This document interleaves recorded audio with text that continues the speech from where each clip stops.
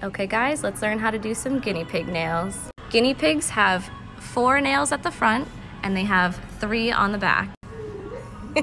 you always want to make sure you're trimming right before the pink part. That's called the quick. So that's a finished hand. You're definitely going to want to have a friend to help you hold your guinea pig while you trim the nails. Make sure you hit all of the nails on each of the paws, and if there's any black nails, definitely work your way outwards in.